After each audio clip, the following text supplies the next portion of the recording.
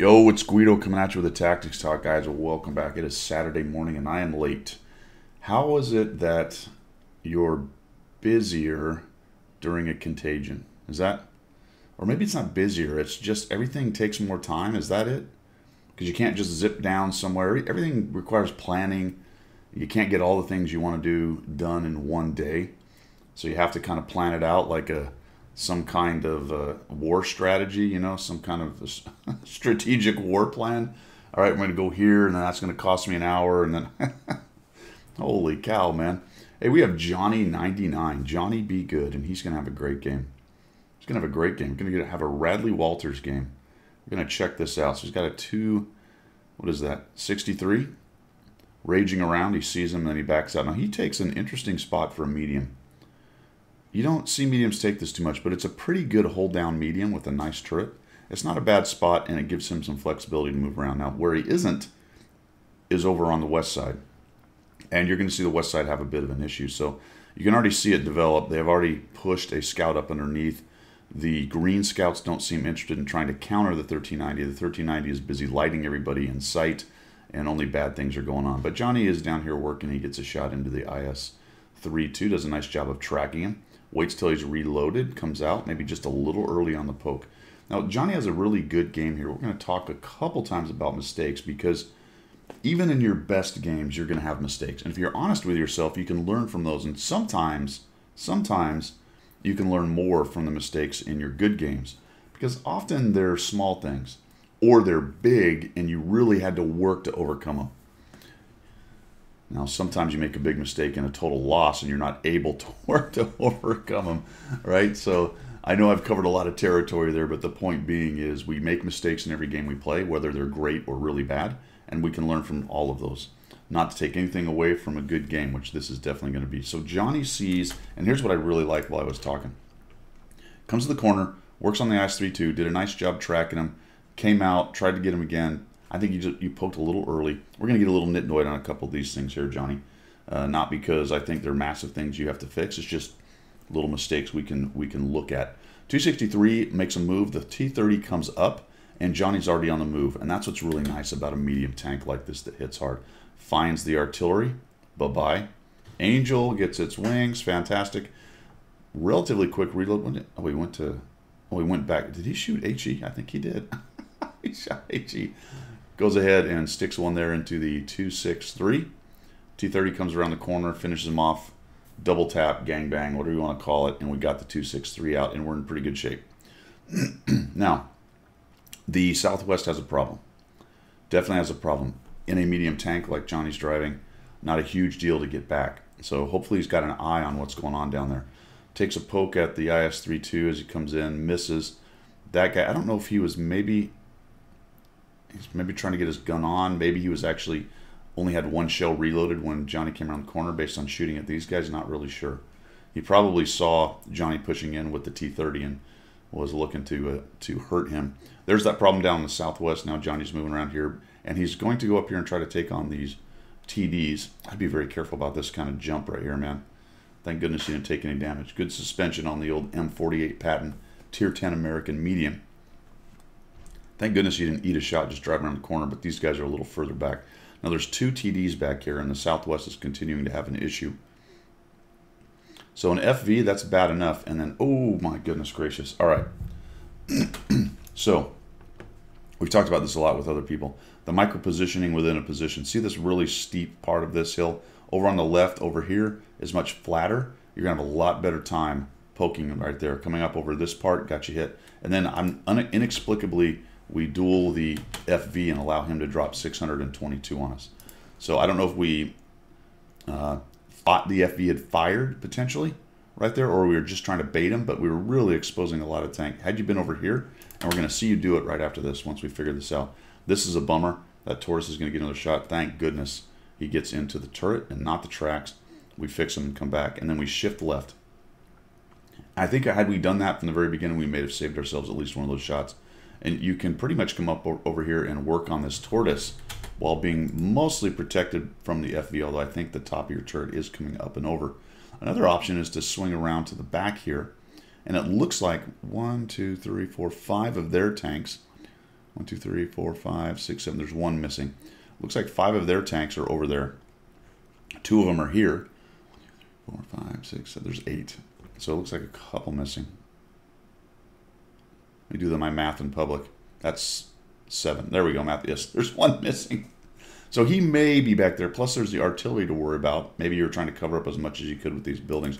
But I might have shifted further left over there and seen if we can't get a, several different angles on these guys. Tortoise has is forced to poke back into the corner, and now we're going to kind of duel the FV. And that's what I was talking about, which would have been a much better idea earlier. And you're going to be able to force a miss right there, which is really nice. Now that FV is reloading, so just come up here, get comfortable, shoot him in the hole. I think I would have probably tried to get another shot. I don't think he's got. I don't think he's got another one. Again, you kind of came up onto that higher piece. Stay on that little road part, and you wouldn't have exposed quite as much tank right there. But nice job to kind of taking a poke at the top of his of his turret there. I think we bait one more shot right here. Get a little bit lucky. It's like whoop. No. Oh, there you go. oh, okay, so we do get hit. Actually, we did not bait. That was another shot coming on him. Maybe the artillery. So we eat another shot right there. And this is kind of what I'm talking about on prioritization and targets.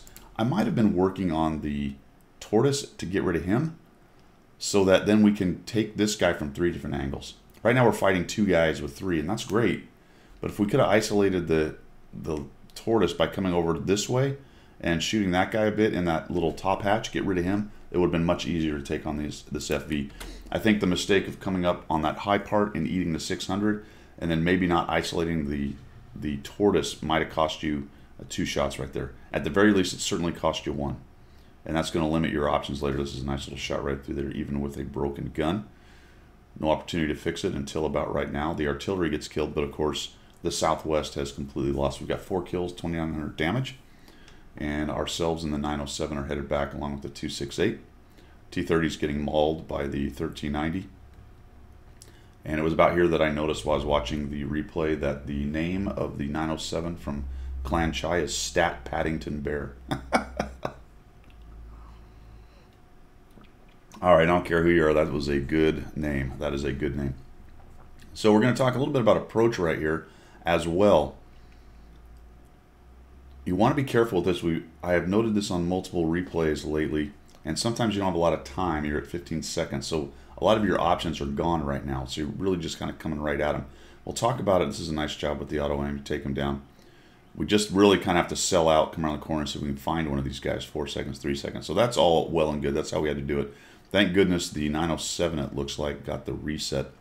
There are two on there. Now, once we got the reset, I think I would have been on the edge of this ravine right here. If something saw me, I would dive out of the way.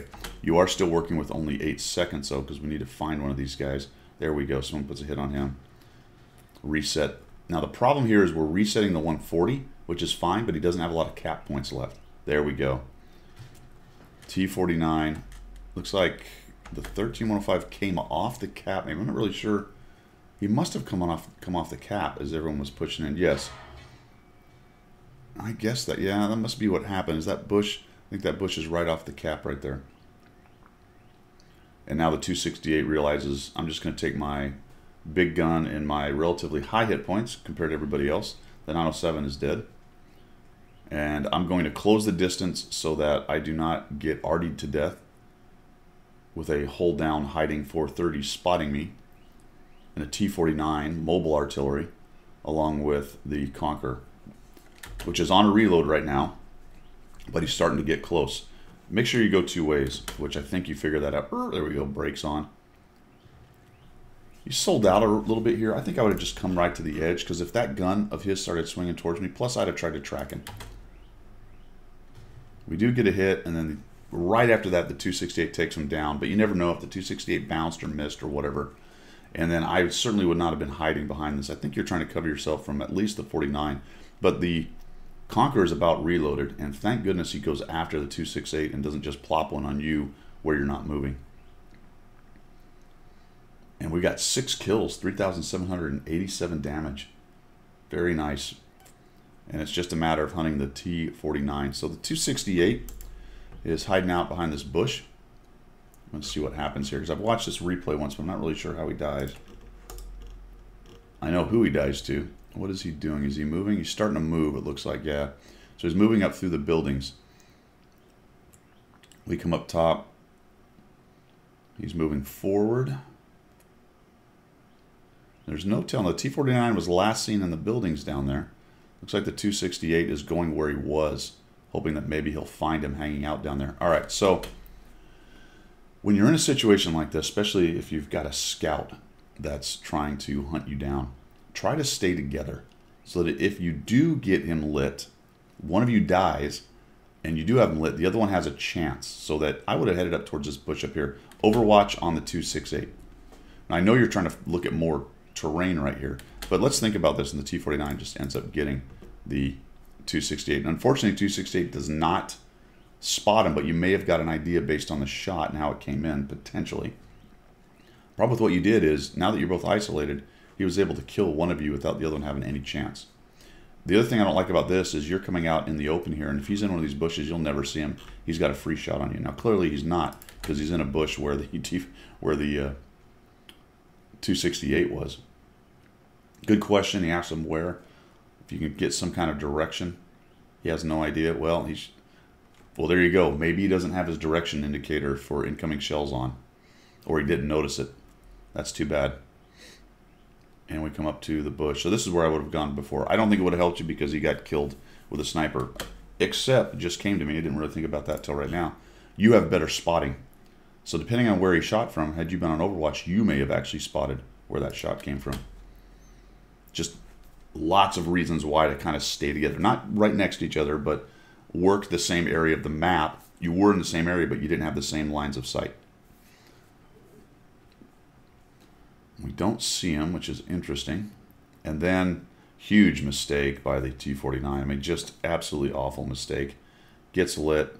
You get lit. He's looking. He has a really long aim in time, and you drop him. Very nice. My question is, does an artillery shell come in? We're moving, we're moving. He may have shot at the 268. Yep, there it is. So he was not really aimed in near you probably, and that was not a well-aimed shot, even as the Conqueror has a huge dispersion circle anyway. And nice job moving. That was your best bet right there. Just keep kind of zigging and zagging.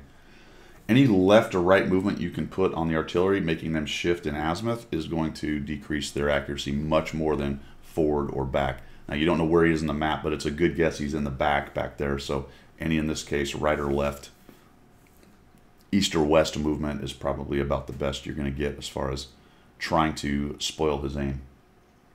Now, he's got to reload. One thing I'll do on the, these cases is when I see the shot come in, I'll look at the clock, and then I'll add 40 seconds and that'll be the time when I know he's reloaded. More than likely, based on the time it took you to move in, he's probably going to be reloaded. There he is, full hit points. Ooh, going right at him. Oh, a ricochet. that sucks. Oh, no, we're singing. All right, look, oops. Holy cow, what have I done? I've hit V. this is interesting because I, I think I would have dove for the buildings but that might have been a bad idea because it, the splash on it, say he hit one of them. I mean, he may have hit one of these closer ones because it's really a low arc from where he is, how close you guys are. He missed by a mile, which is very nice. Kind of forced his shot right there. I don't know if he was already moving back when he shot or what happened. You got through it. I think I would have dove for the buildings. But the problem with that is he might not have shot. he might not have shot. It's very interesting. But he would have backed out, and you probably could have snuck through the buildings and maybe found a bush and, and sussed him out. But as as it stands, he missed, so thank goodness. We're going to come on in here, and we've got another angel about to get their wings. Uh, that's a big angel, too, because that's a tier 10 arty. You got to love that, guys. You got to love the tier 10 arty being killed. Eight kills. Radley Walters, 4,420 damage, 331 assist. Really great game, Johnny. Johnny, be good. Thanks for sending that in. I do appreciate it. Well done on that one. As far as pointing out the mistakes or what I thought were the mistakes, discussion points, right? Take a look at them. Everybody else take a look at them. Go, okay, I think probably in this case we could have done this a little bit better. Here's a couple of those points where we could have done it. Maybe kept some of our hit points along the way. I really think at the end of the day it was a really well played game. I really think you could have saved yourself from at least one of those FV hits. So that would have been an extra 500 hit points in there. The rest of it seemed pretty reasonable on, on what you were doing in, at the time and the risk you were taking. But those two kind of pokes where you where you were dueling with the FV and, and not taking down the, the, the, tortoise, I think really had an opportunity there. The, the biggest, most solid opportunity for improvement was to not eat one of those two shots right there. Otherwise, fantastic game. Thanks for sending in, guys. Guys, thanks everyone for sending in Johnny's replays. I hope everybody's doing well out there, staying safe, staying uh, well. I guess staying safe is not as good as saying stay well. Stay well, my friends, and we will see you. At some point, I'll figure out how to turn this thing off. Oh, here we go.